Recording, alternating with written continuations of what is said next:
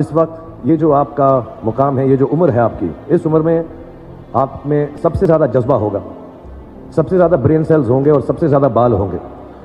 कुछ सालों बाद जज्बा भी कम हो जाएगा, बाल भी कम हो जाएँगे ब्रेन सेल्स भी कम हो जाएँगे। सो ये जो मौका आपको ज़िंदगी ने दिया है, ये जो थ्रेश पर आप हैं, जैसे आपकी सोच है, जो आपके दिल में आए, ज़िंदगी भर सिर्फ़ वही कीजिएगा। जब आप मेरी उम्र के होंगे या अपने माँ बाप की उम्र के होंगे तो कहीं ना कहीं दिल में कोई ना कोई रिग्रेट रह जाती कि मैंने वो क्यों नहीं किया। तो हर लड़के और हर लड़की को मैं सिर्फ़ यही कहूँगा प्लीज़ जो दिल में आए इस उम्र में, ज़रूर कीजिएगा। मेरे जो वालिद थे तो उन्होंने बहुत गरीब भी थे, उनको कभी कोई नौकरी नहीं मिली हार्डली उनके पास पैसे होते थे, और क्योंकि उनके पास पैसे नहीं होते थे तो मेरे हर जन्मदिन पे अपनी कोई पुरानी चीज़ मुझको दे दिया करते थे।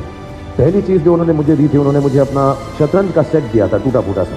और उन्होंने मुझे कहा कि शतरंज से आप ज़िंदगी के बारे में बहुत कुछ चीज़ें सीख सकते हैं। पहली ये कि कोऑपरेशन और साथ मिलजुल कर काम कैसे करना है।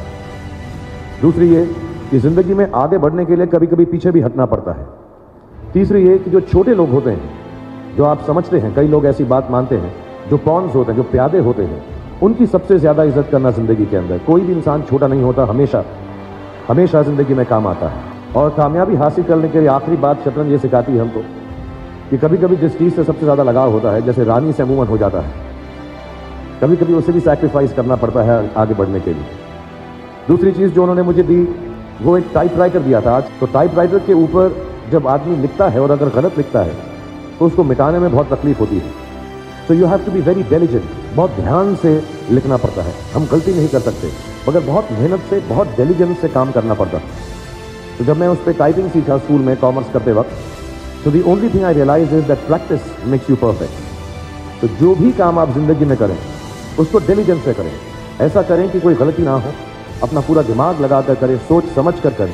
ऐसे करें कि ये काम ज़िंदगी में आपका पहला काम है और इसके बाद आपको मौका नहीं मिलेगा। और शायद ये काम आपका ज़िंदगी का आखिरी काम है, इसके बाद फिर मौका नहीं मिलेगा। So do it with that kind of diligence तीसरी चीज़, उन्होंने मुझे कैमरा दी थी, क्योंकि बहुत गरीब थे, वो कैमरा चलता नहीं था बिल्कुल भी।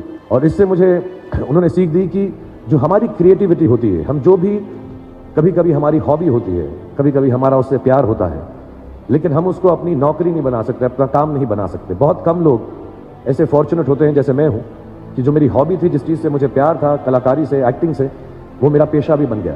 लेकिन जो हमारी कला है, चाहे वो पोएट्री है, चाहे वो लिखना है, चाहे वो पेंटिंग है, चाहे जो भी चीज़ गाना है, अकेले में गाना है, हमारी क्रिएटिविटी ज़रूरी नहीं है कि दुनिया एक्सेप्ट करे।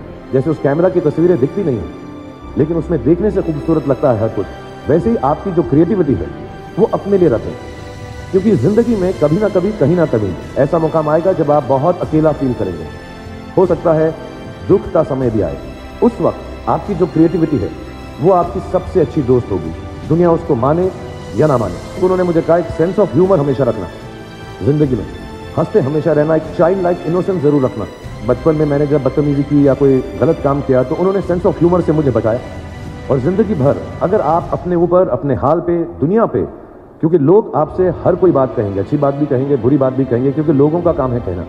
अगर आप उसको एक सेंस ऑफ़ ह्यूमर से देख सकेंगे तो ज़िंदगी जो है बहुत बेहतर रहेगी।